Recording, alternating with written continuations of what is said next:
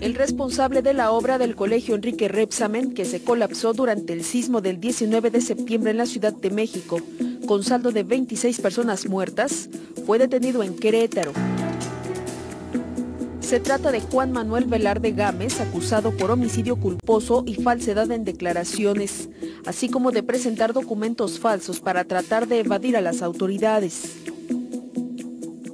La Procuraduría de Justicia de la Ciudad de México informa que Velarde Gámez fue ingresado al reclusorio sur.